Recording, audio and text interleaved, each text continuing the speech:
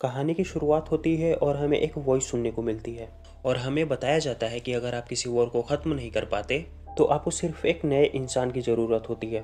और वो नया इंसान है ग्लेन और हमें यहाँ पर ग्लेन के बारे में पता लगता है। और ग्लेन कैम्ब्रिज यूनिवर्सिटी से ग्रेजुएट है। और उसके लिए अनुशासन बहुत ही मायने रखता है। और वो सारी चीज़ें टाइम टेबल पर करता है। और अभी ग्लेन को अफ़गानिस्तान में भेजा गया है। और उसके आने से सारे लोग बहुत ही ज़्यादा खुश हैं। और सबको उम्मीद है ग्लेन वहाँ पर बहुत ही बदलाव लाएगा। और ग्लेन जिस भी देश में गया है, उसने हर जगह पर लोगों को प्रभावित किया है। और इसलिए सबको यही उम्मीद है कि ग्लेन अफ़गानिस्तान में कुछ ऐसा ही करेगा। वो यहाँ के युद्ध को हमेशा के लिए ख़त्म कर देगा। और ग्लेन भी बहुत ज़्यादा जोश में है कि वो अफ़गानिस्तान में भी ज़रूर बदलाव लाएगा। इसलिए वो अफ़गानिस्तान पहुंचकर अपने काम में लग जाता है।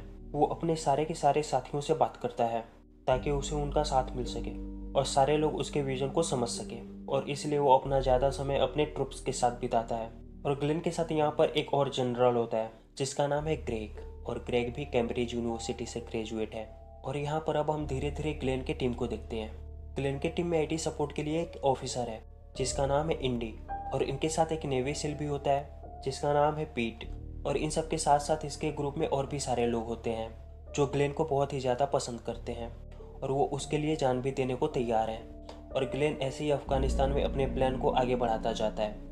और इसी सिलसिले में एक दिन वो पहुँचता है प्रेसिडेंट ऑफ़िस और वहाँ पर कहता है कि उसे ओबामा से मिलना है, लेकिन यहाँ के लोग उसे मना कर देते हैं और वो कहते हैं कि इतनी जल्दी तुम ओबामा से नहीं मिल पाओगे और हमने यहाँ पर तुम्हें इसलिए बुलाया है ताकि तुम यहाँ के युद्ध को खत्म कर सको, लेकिन तुम्हें और सिपाही नहीं मिलेंगे और कभी नए सिपाहियों के बारे में सोचना भी मत। इसलिए तुम्हारे पास जितने भी ट्रूप्स हैं, उतने से ही तुम्हें काम चलाना पड़ेगा। और इन सारी बातों को सुनने के बाद ग्लेन बहुत ही ज़्यादा निराश हो जाता है और उसे लगता है कि अमेरिकी सरकार उसके ऊपर प्रेशर डाल रही है और वो वहाँ से निकल जाता है और वो प्लानिंग करता है कि अब वो अफ़गानिस्तान के प्रेसिडेंट से मिलेगा, जिसका नाम है कारजाई और इसलिए वो अगले दिन पहुँचता है कारजाई की ऑफ़िस और उसे सारे लोग समझाते हैं कि तुम्हें कारजाई के सामने बहुत ही आराम से पेश आना होगा और ग्लेन भी इस बात को अपने दिमाग में रखता है और जैसे वो कारजाई के ऑफ़िस में दाखिल होता है, और वो देखता है कि कारजाई एक बहुत ही मासूम आदमी है, और वो बहुत ही हसमुख है, और वो बिल्कुल भी अकड़ू नहीं है, जैसा कि बाहर के सारे लोग कहते थे। और वो बहुत ही प्यार से लोगों से बात करता है, और वो सामने वाले की प्रॉब्लम को सुनता भी है। लेकिन यहाँ पर करजाई जैसे ही ग्लेन को देखता है, और वो कहता है कि तुम यहाँ के नए जनरल हो, लेकिन तुम बिल्कुल ही पुराने जनरल की तरह चलते हो। पर तुम्हें देखकर ऐसा लगता है कि तुम यहाँ पर कुछ नया करोगे, जो कि पुराने जनरल ने नहीं किया। तब ग्लेन यहाँ पर कहता है कि मुझे आपकी मदद चाहिए और मैं चाहता हूँ कि आप पूरा अफ़गानिस्तान मेरे साथ घूमें, ताकि हमें यहाँ के लोगों का सपोर्ट मिल सके। लेकिन करजाई इस चीज़ के लिए मना कर देता है, क्योंकि जल्दी ही इलेक्शन आने वाले हैं और वो ऐसा कुछ भी नहीं करना चाहता था कि वो इलेक्शन हार जाए।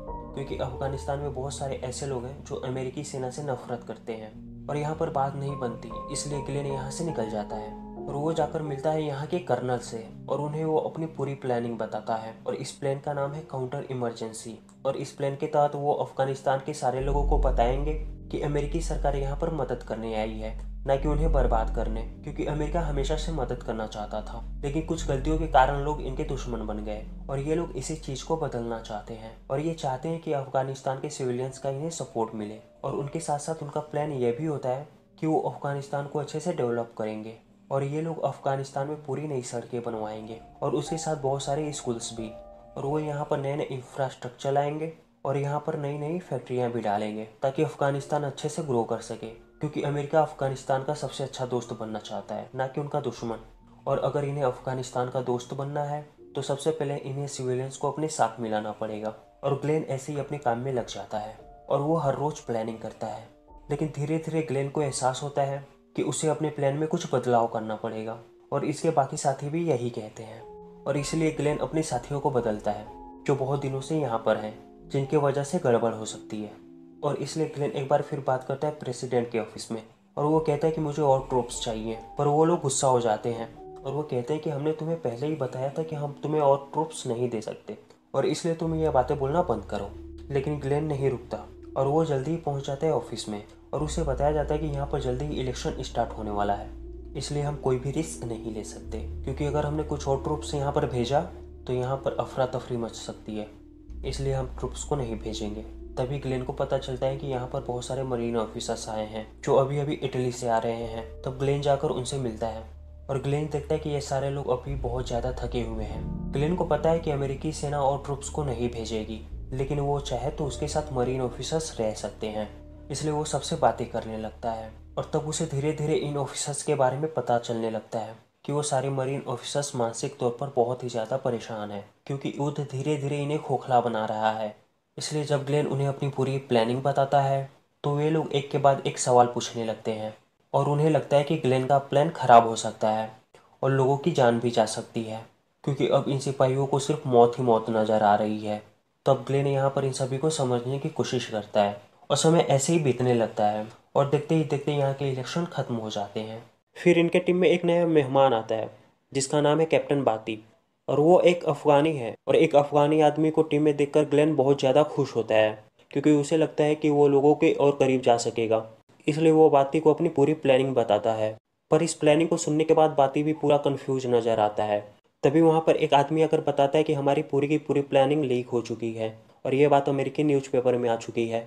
जैसे ही ग्लेन इस बात को सुनता है, वो बहुत ही परेशान हो जाता है। फिर थोड़ा सोचने के बाद वो कहता है कि हमें एक मीटिंग करनी पड़ेगी और हमें मीडिया वालों से मिलना पड़ेगा। फिर तभी मैं उन सारी चीज़ों को एक्सप्लेन कर पाऊँगा। इसलिए ग्लेन एक बहुत बड़ा इंटरव्यू देता है और ये इंटरव्यू होता है एक घंटे का। और जब ग्लेन से सवाल जवाब पूछे जा रहे होते हैं, तभी ग्लेन का एक आदमी जाकर रिपोर्टर से बात करता है और वह कहता है कि हम चाहते हैं कि आप प्रेसिडेंट के बारे में जाकर ग्लेन से पूछें और वो इंटरव्यूअर ऐसा ही करती है। और वो ग्लेन से पूछती है कि आपकी प्रेसिडेंट से कितनी बार बात हो चुकी है। तब ग्लेन कहता है कि सिर्फ़ एक बार। और यहाँ से ग्लेन प्रेसिडेंट को रोस्ट करने लगता है और सिर्फ़ और सिर्फ़ उसकी बुराइयाँ करता है।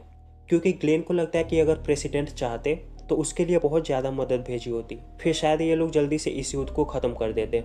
लेकिन ये सब कुछ प्रेसिडेंट की वजह से हो रहा है। इसलिए ग्लेन ये सारी बातें कहता है और तभी ये सब बातें पहुँच जाती है अमेरिका। तभी ग्लेन के पास व्हाइट हाउस से कॉल आता है और वे लोग ग्लेन को डांटने लगते हैं। कि आखिरकार ग्लेन ने ऐसा क्यों किया? तब ग्लेन यहाँ पर नाटक करने लगता है और वो ऐसा प्रिटेंड करता है कि जैसे उसे कुछ सुना ही नहीं दे रहा हो और यहाँ पर नेटवर्क का इशू हो और यही बहाने बनाकर ग्लेन फ़ोन को काट देता है। लेकिन ग्लेन बहुत ही ज़्यादा खुश होता है क्योंकि जो चीज़ वह चाहता था वो हो चुकी है और प्रेसिडेंट इस चीज़ को और भी ज़्यादा गहराई से सोचेंगे और तभी हम ओबामा का इंटरव्यू देखते हैं। और ओबामा सभी को बता रहे होते हैं कि हम अफ़गानिस्तान में इस वॉर को ख़त्म करना चाहते हैं। और वो यहाँ पर ग्लेन की स्ट्रेटजी के बारे में भी बात करते हैं। और वो कहते हैं कि हम जल्दी ही अफ़गानिस्तान में तीस हज़ार ट्रुप्स भेजने वाले हैं। और वो भी ग्लेन की मदद के लिए। और फिर हम डेढ़ साल के बाद इन सभी ट्रुप्स को वापस बुला लेंगे हमेशा के लिए। लेकिन ग्लेन जैसे इस बात को सुनता है वो बहुत ही भड़क जाता है और उसे लगता है कि प्रेसिडेंट इन सभी चीज़ों को ख़त्म करना चाहते हैं और वो इन सबको वापस बुला लेंगे। इसलिए ग्लेन अभी तक जितने भी चीज़ें की हैं, वो सारी चीज़ें ख़त्म हो जाएँगी। और उसके साथ साथ ग्लेन यह भी कहता है कि उन सभी को यूरोप जाना है और सब लोग अपनी अपनी पैकिंग कर लो, क्योंकि वे जल्दी ही पेरिस के लिए निकलने वाले हैं। फिर ये सारे लोग पैकिंग करने लगते हैं। तभी एक आदमी आकर ग्लेन को बताता है कि आपकी वाइफ यहाँ पर आई हुई हैं। इसलिए ग्लेन अपनी वाइफ से मिलने जाता है और वो देखता है कि उसकी वाइफ बहुत ही परेशान है। पर वो क्लेन के लिए बहुत ही खुश है, क्योंकि क्लेन बहुत ही अच्छा काम कर रहा है। और वो क्लेन से यह भी कहती है कि वो वॉर में हमेशा ही बिज़ी रहता है, जिसके चलते उसके पास उसके परिवार के लिए बिल्कुल भी वक्त नहीं है। इसलिए उसकी वाइफ चाहती है कि क्लेन कुछ समय अपने परिवार के लिए भी निकाले। फिर ग्लेन कहता है कि वो ज़रूर वक्त निकालेगा।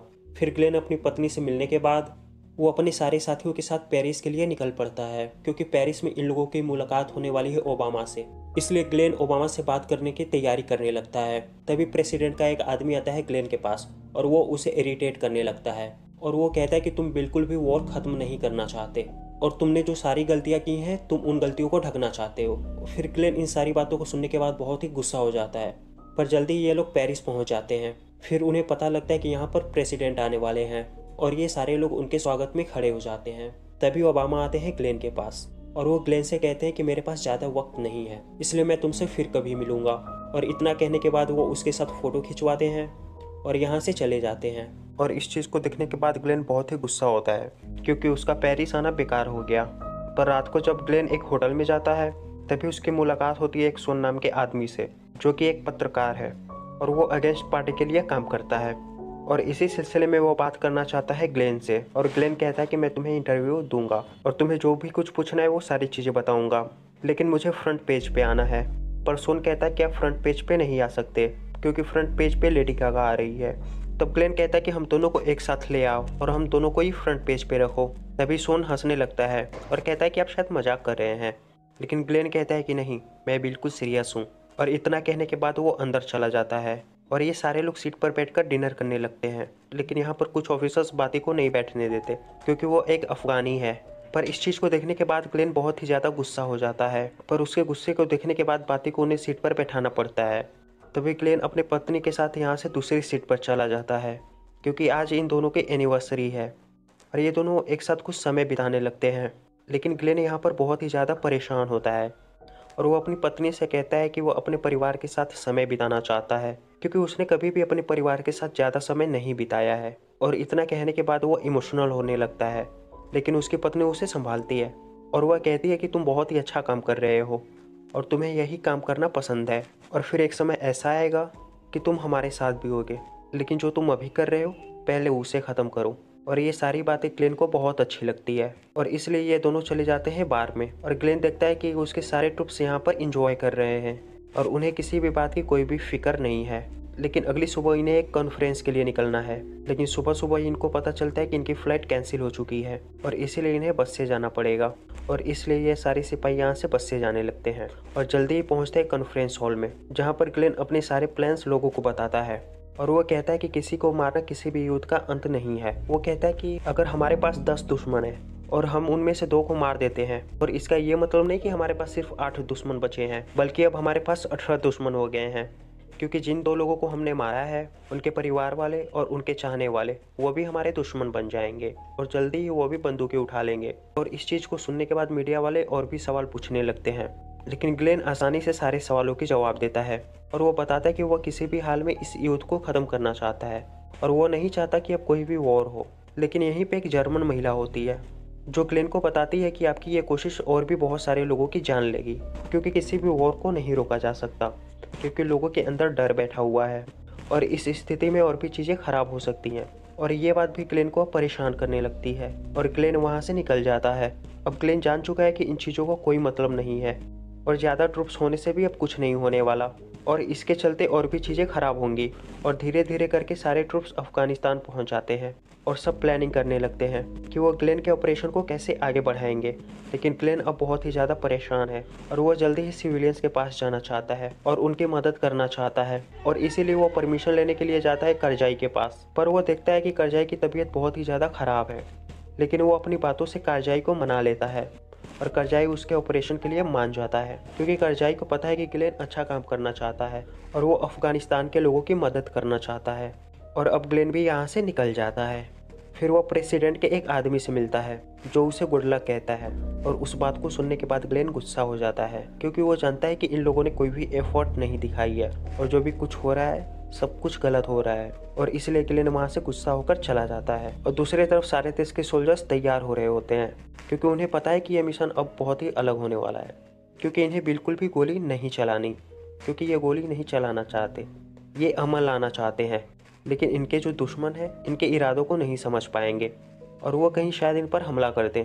फिर ये सारे लोग ईश्वर से प्रार्थना करने लगते हैं, और एक के बाद एक टुकड़ी भी निकलने लगती है, और जल्दी ही रात हो जाती है। और सारे सिपाही आगे बढ़ने लगते हैं। लेकिन इधर ग्लेन भी बहुत ज़्यादा परेशान है। तब उसके साथी उसे संभालने की कोशिश करने लगते हैं और देखते ही देखते सुबह हो जाती है और सारे के सारे सिपाही आगे बढ़ रहे होते हैं। लेकिन जैसे ही वो लोग एक गाँव में दाखिल होते हैं, उन पर अंधाधुंध गोलियाँ चलने लगती हैं। तब ये लोग भी गोलियाँ चलाना चाहते हैं। फिर इन्हें एहसास होता है कि ये लोग अंधाधुंध गोलियाँ नहीं चला सकते, क्योंकि यहाँ पर मासूम लोग भी हैं। लेकिन इन्हें सिर्फ़ दुश्मनों को मारना है, ना कि इन्हें अंधाधुंध गोलियाँ चलानी है। इसलिए वे लोग अपनी बंदूकों को रोक लेते हैं और धीरे धीरे आगे बढ़ने लगते हैं और दुश्मन को ढूँढने लगते हैं और कुछ सोल्जर्स नीचे रह जाते हैं और कुछ सोल्जर्स चले जाते हैं छत पे, जहाँ पर वे दुश्मनों पर नज़र रखने लगते हैं। तब उन्हें छत पर बहुत सारे लोग नज़र आते हैं, लेकिन इन सभी लोगों का मानना है कि ये लोग दुश्मन नहीं हैं। लेकिन इन्हें पता लगता है कि उनके हाथ में बंदूकें हैं। फिर भी वे उन पर गोलियाँ नहीं चलाते, लेकिन तभी उधर से गोलियाँ चलने लगती हैं और उनका एक साथी मारा जाता है। और इस चीज़ को देखने के बाद कुल नाम का एक सिपाही भड़क जाता है और वो अंधाधुंध गोलियाँ चलाने लगता है। लेकिन फिर वो रुक जाता है, लेकिन तभी फिर से उधर से गोलियाँ चलने लगती हैं, जिससे इनका एक और साथी मारा जाता है और इसके चलते कुल आग बबूला हो जाता है और वो नीचे उतर जाता है और वो उस तरफ़ जाने लगता है जहाँ से ये लोग गोलियाँ चला रहे हैं और धीरे धीरे कुल अब अंदर जाने लगता है।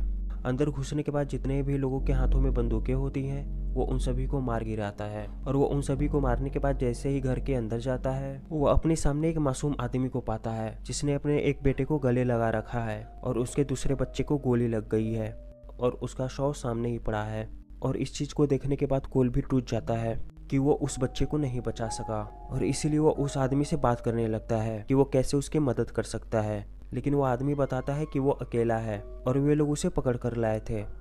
और जल्दी ही ये बात ग्लेन को पता लग जाती है। इसीलिए ग्लेन भी यहाँ पर पहुँचता है और वो उस आदमी से माफ़ी माँगता है और वो कहता है कि हम लोग यहाँ पर आपकी मदद करने के लिए आए हैं। तब वो आदमी बताता है कि उसके पास घर भी नहीं है। तब ये लोग वादा करते हैं कि ये लोग उसे पैसे भी देंगे, लेकिन धीरे धीरे यहाँ पर गाँव के लोग इकट्ठा हो जाते हैं और ग्लेन उन सभी से बातें करने लगता है। और वो कहता है कि हम यहाँ पर आपकी मदद करने के लिए आए हैं। हम आपके लिए सड़कें बनवाएँगे, नई स्कूलें बनवाएँगे और साथ ही नए हॉस्पिटल भी बनवाएँगे। और उसके साथ ही जितने भी दुश्मन आपको परेशान कर रहे हैं, हम उनसे भी आपको बचाएँगे। और तालिबानी सिर्फ़ आपकी मदद का दिखावा कर रहे हैं। और वो लोग कभी भी आपकी मदद नहीं करेंगे। तब इन सारी बातों को सुनने के बाद एक आदमी उनका शुक्रिया अदा करता है और वो कहता है कि आप सच में मदद करना चाहते हैं और वो चीज़ें हमें नज़र आ रही है, लेकिन आप शायद हमारी स्थिति को नहीं जानते। आप जितना मदद करने की कोशिश करेंगे, उतने ही ज़्यादा हालात हमारे लिए खराब होंगी। इसीलिए अगर आप सच में हमारी मदद करना चाहते हैं तो आप लोग यहाँ से चले जाइए। लेकिन ग्लेन इन्हें एक बार फिर से समझाने की कोशिश करता है, लेकिन धीरे धीरे ग्लेन भी इस बात को समझ जाता है। कि वो जब तक यहाँ पर रहेगा, तब तक यहाँ के लोग मरते जाएँगे। और इसलिए ग्लेन यहाँ से चला जाता है। और वो हेलीकॉप्टर में बैठा बैठा बहुत ही निराश होता है, क्योंकि उसकी मेहनत का कोई भी फल नज़र नहीं आ रहा था। इसलिए ग्लेन अब वापस चला जाता है, और वह किताब पढ़ता है, फिर सो जाता है। तभी सुबह सुबह उसके साथी बताते हैं कि उस रिपोर्टर का आर्टिकल आ चुका है, और वो आर्टिकल बिल्कुल भी अच्छा नहीं है। और उसने लिखा कि सिर्फ़ हम लोग शराब पीते रहते हैं और साथ ही अयाशी करते हैं। इसीलिए सब लोग हम पे थू कर रहे हैं और इस बात से सारे के सारे सोल्जर्स परेशान होने लगते हैं और वे आपस में लड़ने भी लगते हैं। तब ग्लेन उन्हें रोकने और समझाने की कोशिश करता है। तभी प्रेसिडेंट का कॉल आता है ग्लेन के लिए और उसे पता लगता है कि अब प्रेसिडेंट उससे मिलना चाहते हैं। इसलिए अब ग्लेन को अमेरिका जाना पड़ेगा और यहाँ पर ग्लेन अपने सारे साथियों को बाय कहता है और वो अमेरिका के लिए निकल जाता है। और यहाँ पर सारे लोग बहुत ही ज़्यादा दुखी हैं, क्योंकि उन्हें पता है कि अब ग्लेन वापस नहीं आएगा, क्योंकि उसे उसके पद से हटा दिया जाएगा। इसीलिए सब ग्लेन के लिए बहुत ही भावुक होते हैं, क्योंकि उन्हें पता है कि ग्लेन सबसे बढ़िया जनरल था। और अब ग्लेन यहाँ से निकल जाता है, और जब वो प्लेन में होता है तो वो प्रेसिडेंट से वीडियो कॉल करता है, और यहाँ उसे पता चलता है कि उसे उसके पद से हटा दिया गया है। और यह सुनने के बाद ग्लेन बहुत ही दुखी होता है, और समय ऐसे ही बीतने लगता है। और थोड़े दिनों के बाद हम ग्लेन को देखते हैं एक दूसरी नौकरी करते हुए। और अब वो एक सिविलियन कंसल्टेंट बन चुका है। तभी दूसरी तरफ़ हम बॉब नाम के एक और जनरल को देखते हैं, जिसे अब अमेरिकी सरकार ने उसे अफ़गानिस्तान भेजा है। और हमें बॉब भी बहुत ज़्यादा जोश में नज़र आता है और इसी के साथ ये फ़िल्म यहीं पर ख़त्म हो जाती है। तो दोस्तों, हमारी आज की वीडियो यहीं पर ख़त्म होती है। और अगर आपको हमारी ये वीडियो पसंद आई हो तो हमारी इस वीडियो को लाइक करें और सब्सक्राइब करें। एंड थैंक्स फॉर वॉचिंग और मिलते हैं अगली वीडियो में।